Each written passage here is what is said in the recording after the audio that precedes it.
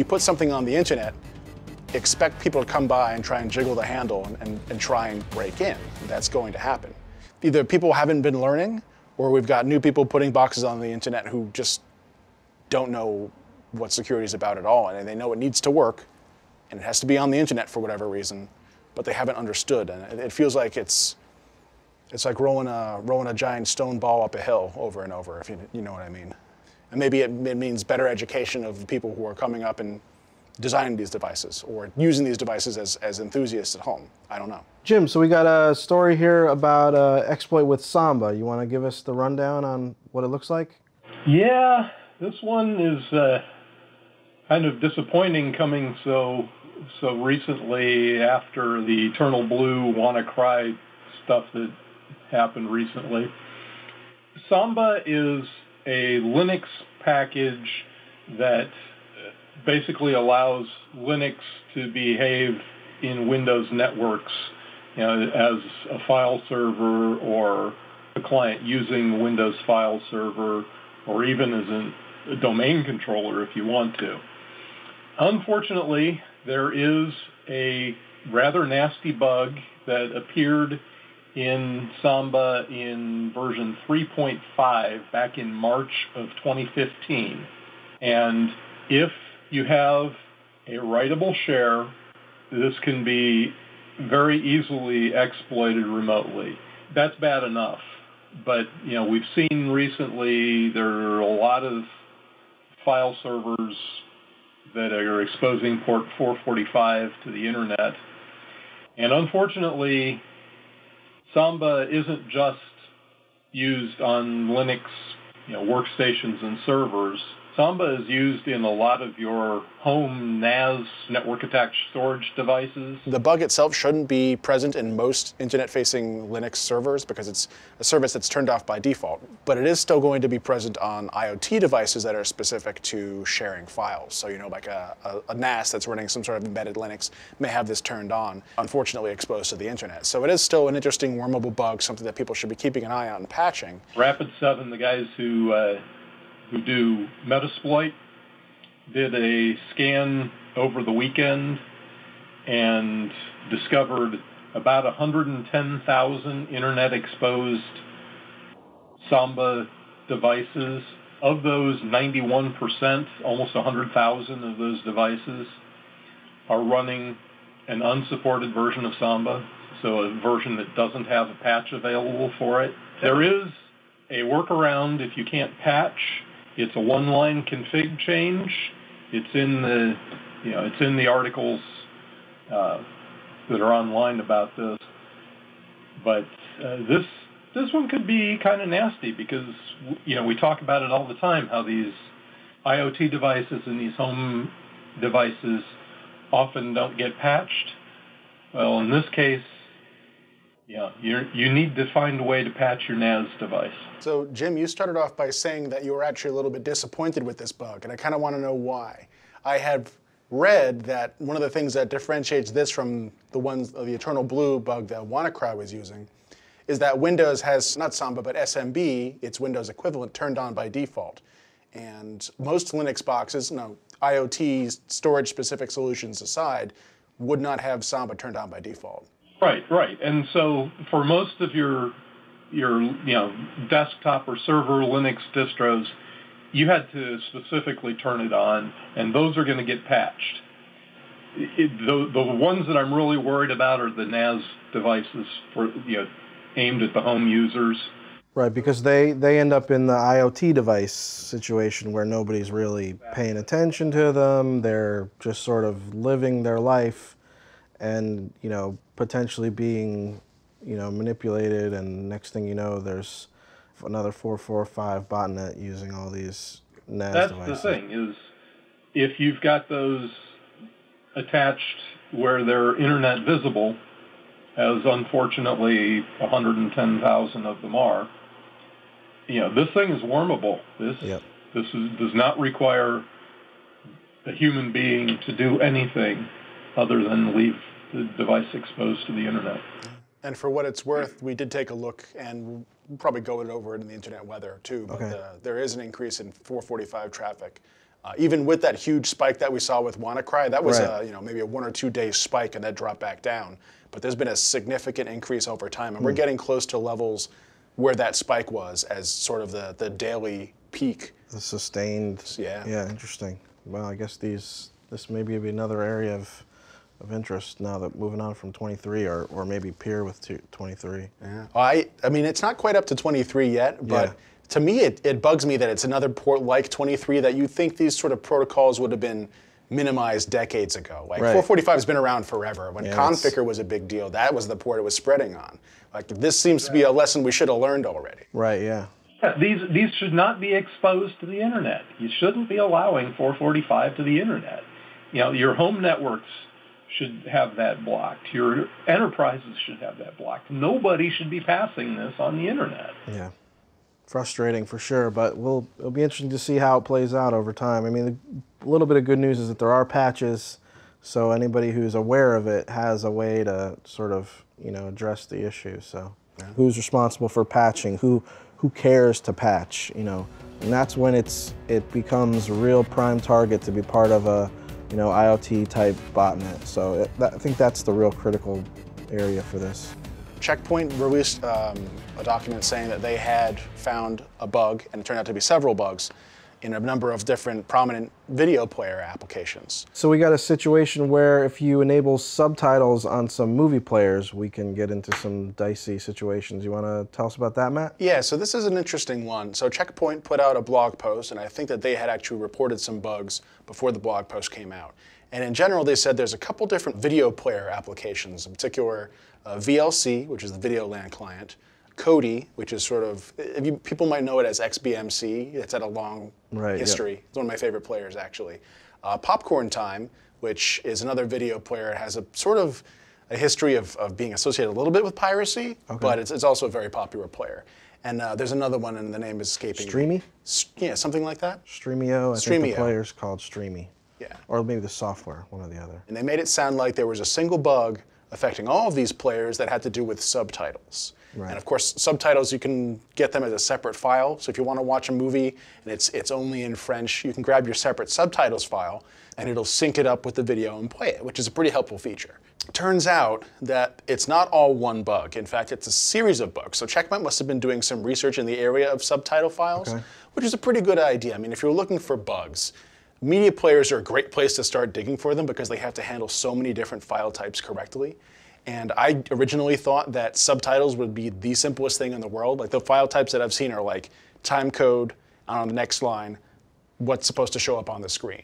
But apparently there's a lot of different types of subtitle files, and each player seems to handle them differently. Media players are kind of complex, and it's hard to get 100% right, but they do have to handle a bunch of different file formats. So the more complexity you have, the, the, the more of a chance there is they're going to find a bug. The whole idea of going after the subtitles is, and in the media players is a, is a fascinating one. Media players need to be able to handle lots of different formats, so there's going to be a lot more opportunity there for potentially some miscoded decoder for the format.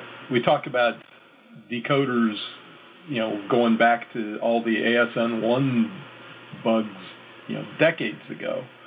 And this is just seems like a great grandchild of those now going after the media players.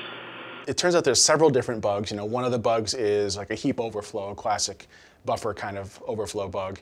I think it was Popcorn Time was the one that was rendering stuff as HTML, which allowed you to do cross-site scripting, like actually put JavaScript in your subtitles and run that, and then use the JavaScript engine to reach to the files. It was very strange. Yeah. Um, there's actually a pretty good uh, discussion of it over on uh, Hacker News, the Yeah, Y that's Combinator where I read about it. Yep, and Yeah. they somebody actually laid out what each bug was, and I found that to be really helpful because initially Checkpoint didn't release the contents of those bugs because the patches hadn't all come out yet. Right, But if you if you're also the type of person who want to go and read like commit statements in people's you know GitHub repositories, you can see what the changes are there too. Right. So if you're that kind of you want to dig into it. I read that, and also in one of them, you can mess with the confidence scoring.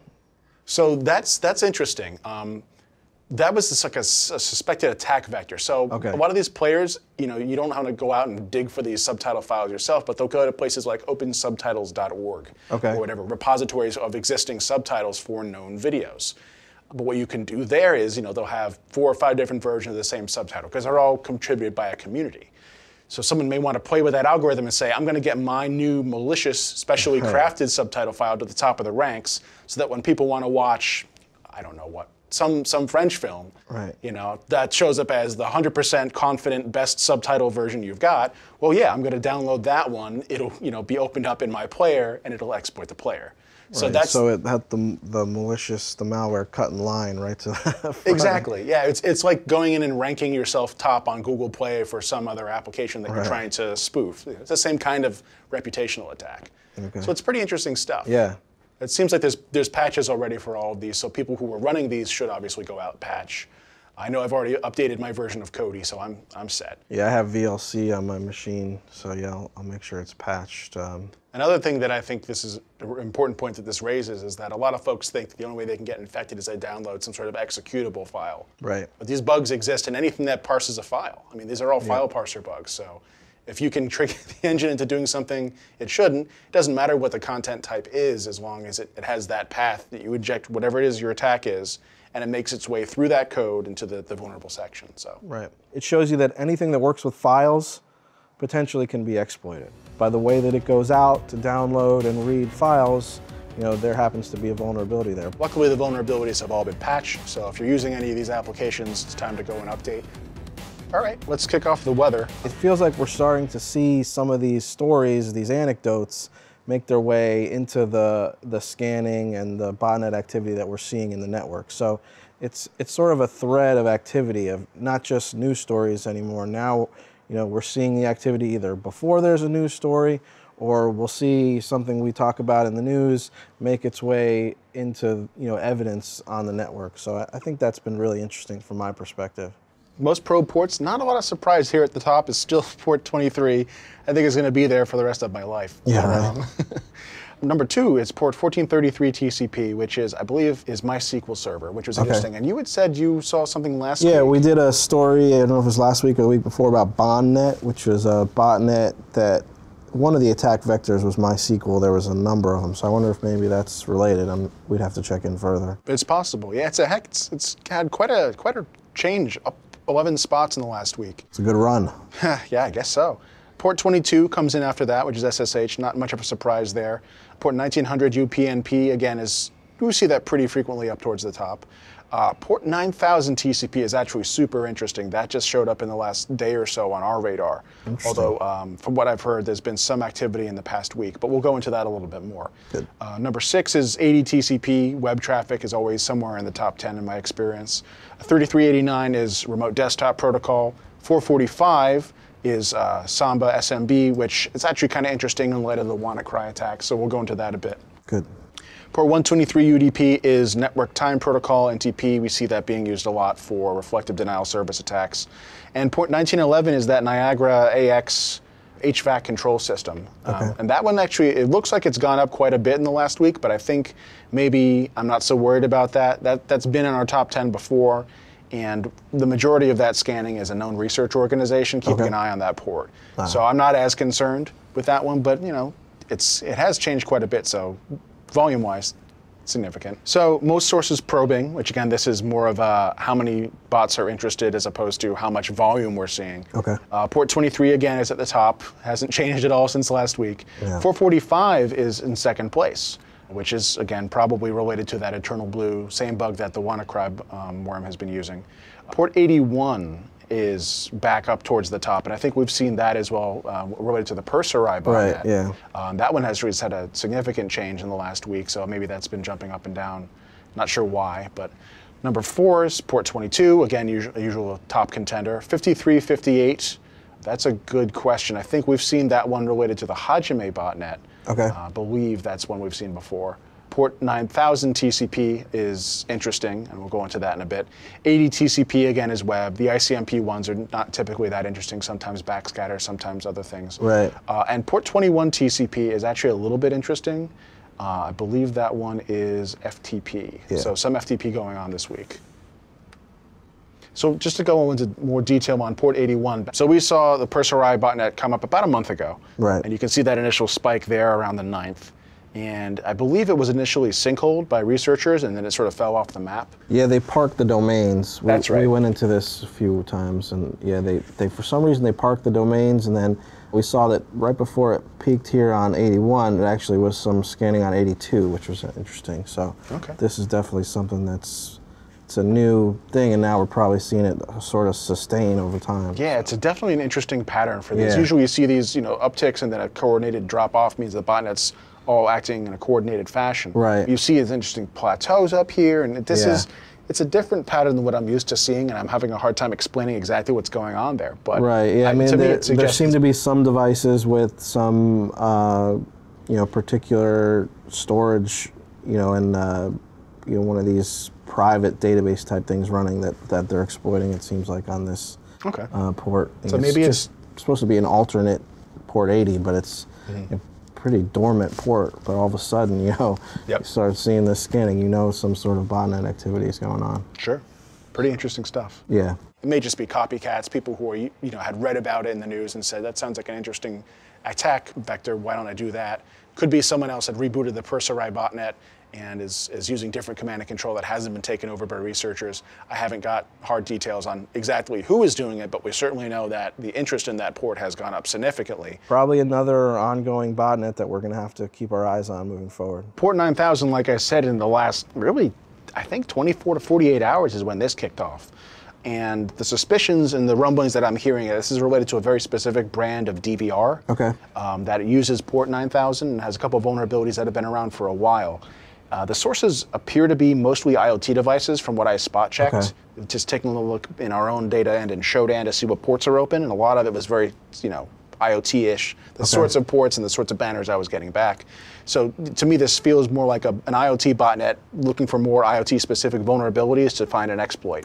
So someone may be going back through the back catalog of old IoT bugs and trying them out one by one. Uh, but this is pretty interesting. Uh, That's a really significant bump in the number of scan sources per hour. So I'd like to see more It almost this. reminds me of what we did see initially with Port 81. Is that you know out of nowhere, a uh, kind of relatively unknown, unused port, and then you know maybe in two weeks from now we'll be talking about some named botnet on Port 9000. So Who interesting. knows? My take on it right now is that it's an IoT botnet looking for other IoT vulnerabilities, uh, ones that haven't been really scanned for before. Potentially we'll see some maybe a new named botnet um, on that Port 9000, but really this is the start of it. So we saw it in the network, and it'll be interesting to track what happens moving forward. So port 445, you know, we, we know this from the WannaCry attacks. 445 really never went away. I mean, Conficker was the big botnet for a while, but people have always been interested in scanning on it. But ever since that that WannaCry worm that came out that used the the the eternal blue vulnerability, Right. ever since then the interest has been slowly gathering on that port because they know it's an effective bug. And there's been a couple other different malware families that have been trying to use that, Right. try and break in. Um, but it's pretty consistent. You can see back down here, start of the month, coming in around, you know, eight to ten thousand scan sources per hour. But now our, our floor is around Yeah. 12 with a daily cycle. So that's yeah. Port 445 continues to be a port of interest. Um, we saw the WannaCry worm come out earlier this month. We saw a significant spike at that point, but even past that, we see increasing cycles, daily cycles of people scanning for this port. real interesting evolution of you know a spike of scanning during the WannaCry incident that now is it's more of a sustained scanning, uh, probably some sustained botnet activity that we expect to increase over time that uh, you know we'll probably be facing in the network for the for the foreseeable future. You know we're now seeing almost equal to the peak of WannaCry is sort of almost a sustained scanning. I would So say within within a couple of days, maybe even maybe a week or so, we'll probably see that as the peak every single day. crazy. So, right, yeah. Uh, port 1433, which we, we've seen before in the last couple of weeks, has actually had a significant amount of activity. But what I thought was particularly interesting is that today, of all days, it looks like that traffic has started to drop off significantly. And I don't have an explanation for it. Hopefully, it has something to do with the dismantling or, or disruption of a botnet. Okay. Um, but you know, for the last, let's say that's the 25th to the 30th, the last five days, it really has almost. I was on a ballpark. It almost tripled in Wow. that time, uh, and then going back down.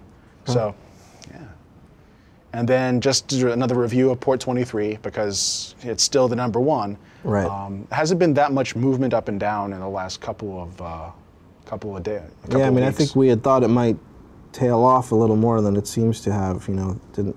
But I guess when you're still recruiting bots on 23, nobody ever seems to take care of them. So. Yeah, well, that's. I mean, I, I wonder if it has to do with the saturation at this point. Right. Has, has every single vulnerable bot been taken over? Right. Vulnerable machine, I mean. But I, I wonder if what what causes that kind of interest there. I mean, to me, my first guess would be that some device out there that hadn't been publicly known to have a, a, simple username and password might have been discovered, and then you have more interest. There's a new herd to. Or maybe even the, I don't know if this is the same time as the WannaCry, but as sort of, you know, interest in scanning in general becomes more with, you know, WannaCry being almost like a public phenomenon. Maybe there's more scanning on, on all the ports during that time. I don't know. I think WannaCry came in around Uh, the okay. 15th here, so, Uh, so it would that be peak is around 9th and 10th. Oh, never I mean, mind. yeah, I mean, it, I saw it too, and I, I decided I had, to, I had to make sure that that wasn't some sort of coordinated scanning on both 23 and. Right. But yeah, it's it's, it's kind of interesting that it happened within days of the other one.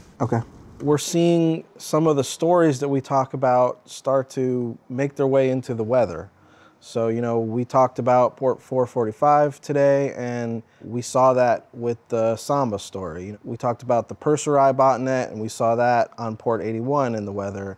There's a lot of there's a lot of devices out there that are exposing ports that really should no longer be a problem, and I, I don't know who we need to talk to to teach them that these are basic things that we've learned as a security community. Things like Telnet, things like Port 445 and the whole Samba suite. We need to be able to reach out to other people who are in- involved with the creation and, and maintenance of these devices and, and shake them a little and, and say, we've learned the lessons, we want to make sure that you've learned them too.